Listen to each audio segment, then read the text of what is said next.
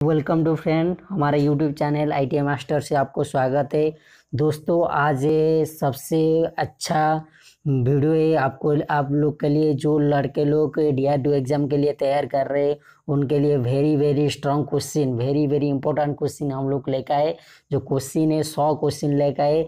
जो ट्रेड जो student trade diesel mechanic motor mechanic और सी ऑटोमोबाइल और ट्रैक्टर मैकेनिक मैकेनिक से हैं, उन लोग के लिए बहुत अच्छा क्वेश्चन है।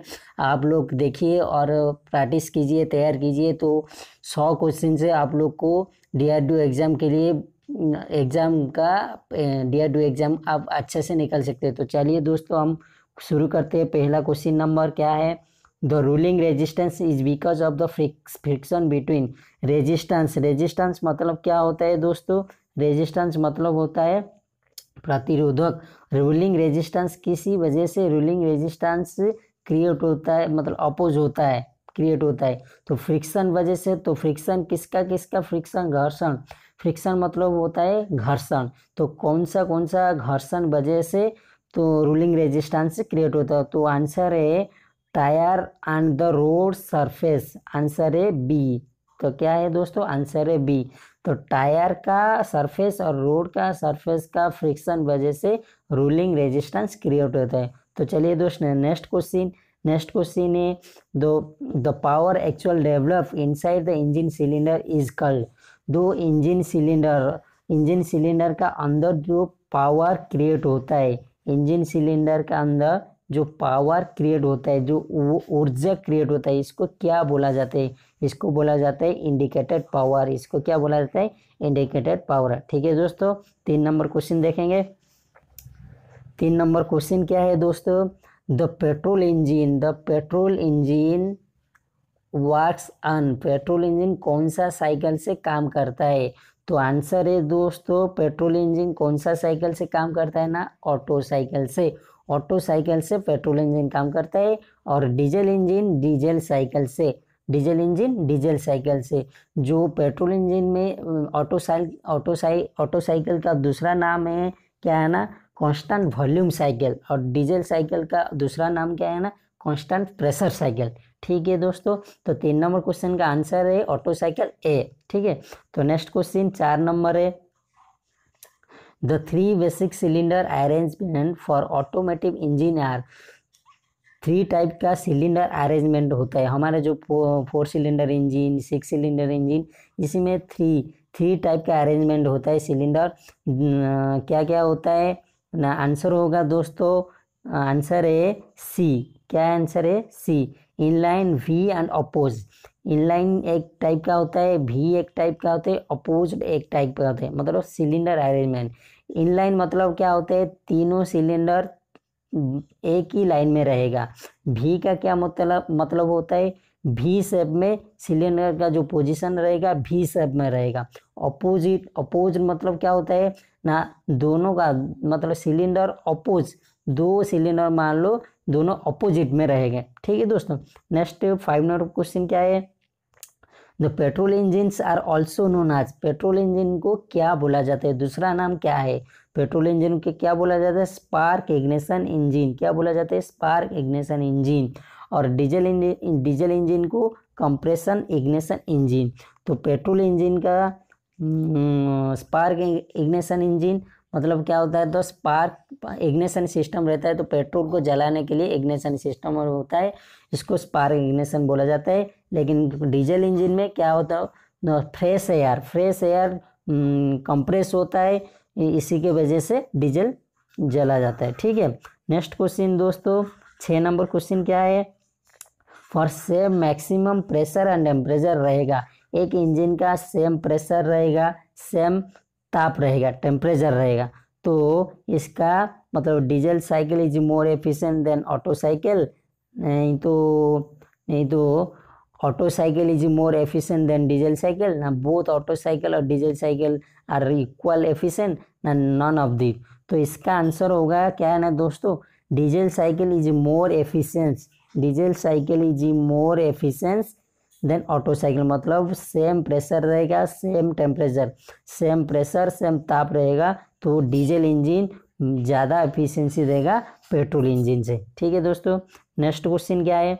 नेक्स्ट क्वेश्चन है, सात number question the compression ratio for diesel engine usually lies in the range of diesel engine का कंप्रेशन रेशियो कितना है? तो डीजल इंजन का कंप्रेशन रेशियो होता है पंद्रह से पच्चीस होता है मतलब फिफ्टीन इस टू वन से पच्चीस twenty five is to one मतलब पंद्रह भाग। कंप्रेशन रेशियो क्या होता है ना दोस्तों?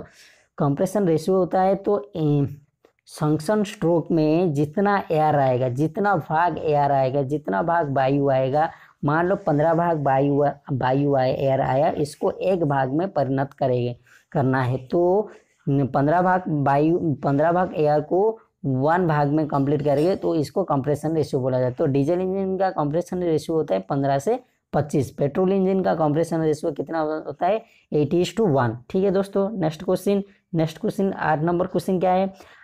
If clearance volume of IC engine is increase if clearance volume क्या होता है? Clearance volume of IC engine diesel engine का क्लियंस वॉल्यूम बढ़ जाएगा तो कंप्रेशन रेशियो क्या होगा?